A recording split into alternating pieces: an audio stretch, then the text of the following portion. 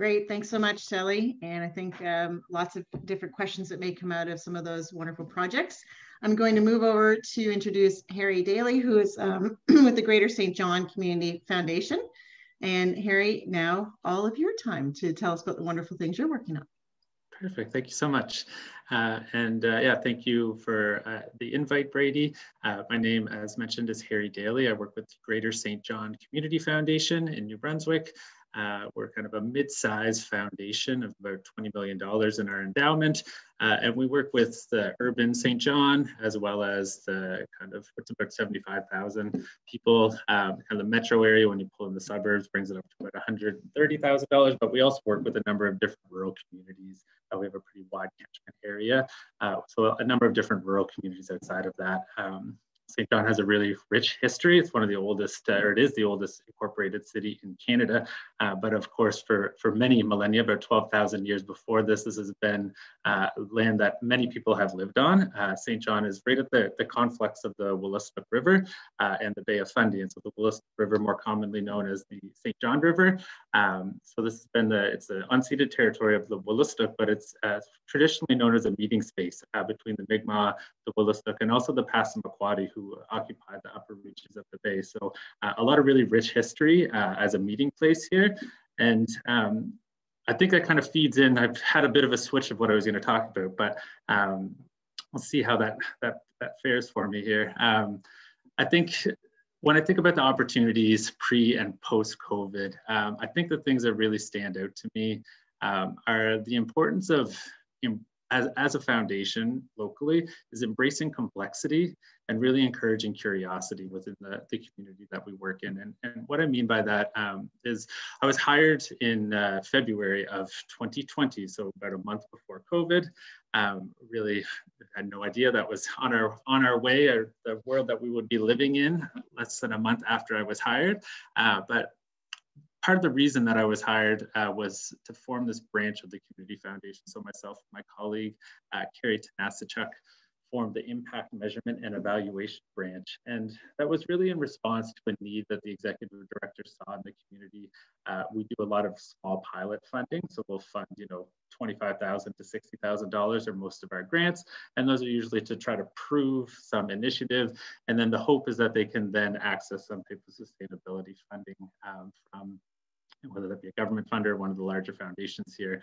And what we saw is to, if, if that's really what we were hoping to do, um, a lot of those larger, like governments uh, and larger foundations were really looking for clear articulations of outputs and outcomes in the reporting that they were doing. And um, so we were hired to kind of build up the capacity because what we were seeing is that there was a big push for that, but there wasn't really any support for organizations. You know, some of these are really small grassroots organizations. Those words are quite confusing and intimidating, uh, and, and that quite often left them feeling disenfranchised that they weren't doing a good job. Um, and so when COVID hit, it really um, gave us the opportunity, Carrie and I as a new team, to stop and pause and think about, um, you know, learn from each other, first of all, like get to know each other, tell stories about our, our, our histories, our understandings of evaluation, what worked well and what has not worked well. Uh, and, and from there, start to listen to the community and the organizations that we were going to be serving. So um, we were initially going to hit the ground running and really dive into it. This is what the board has said we needed to do. But what we started to see is that um, the, the outcome-based measurement, like the predetermined outcomes, uh, people were really left feeling like that did not capture in any way the scope of the work, the nuance and the complexity of the communities that they were working in. Uh, and, and that quite often, that when that's expected of them, they were left feeling like they weren't doing a good job.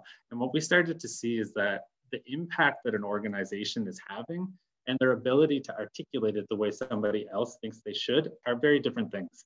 Uh, and so what we really tried to shift our focus to was how do we how do we shift our reporting process, our application, our expectation away from that kind of predetermined accountability outcome uh, really focus in on learning and building up curiosity about what's happening. And I think that COVID-19 showcased that so much because in February, when we did our Smart Caring grants in February of 2020, um, you know, any of the predetermined outcomes that people had thought that they should have a year from there, obviously, you know, most cases those were out the window. Uh, and, and that wasn't just happening during COVID. That had been happening years before, but there was this expectation that if you do something, it will lead to this act, you know, this behavior change and this outcome. And what we really started to see is that that, that does not in any way, shape, or form capture the nuances of the work that the organizations that we were working with were doing. And so um, we've shifted our reporting process to really focus in on learning and storytelling. And what we encourage organizations to do is to really build up their capacity to be curious. So rather than thinking about, you know, here's your activity, here's a intermediate outcome, and here's a long-term outcome, you know, put something into motion and see what happens. And how, how can you look at, you know, what things are impacting that? And, and rather than it being, um, you know, a process that has a very definitive beginning and end, how do you constantly just watch and and articulate what is happening uh, so that you're learning and being curious and and what we found um, you know and, and Shelly I think just hearing you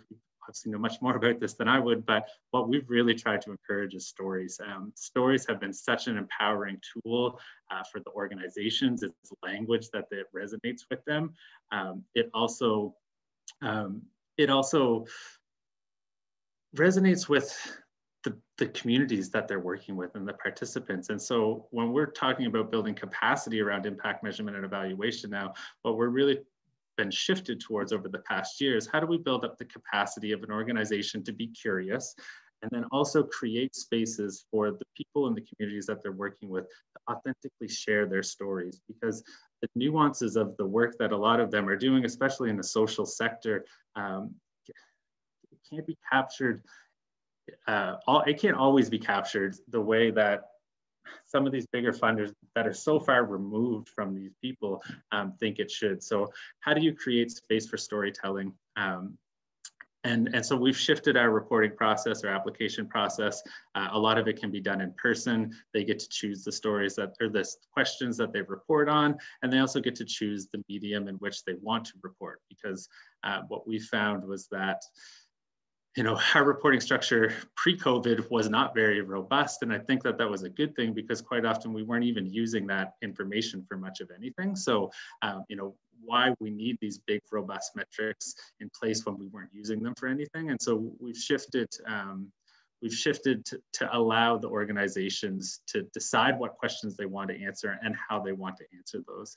Uh, and quite often that is through stories. Uh, so think that that's kind of the biggest shift for us is that we thought that there might be a, some semblance of control and how we could help people just understand um, outputs and outcomes and that they would be much uh, you know, better equipped to articulate that. And what we found now is that uh, as an organization, we're really trying to embrace complexity uh, and also encourage curiosity through storytelling.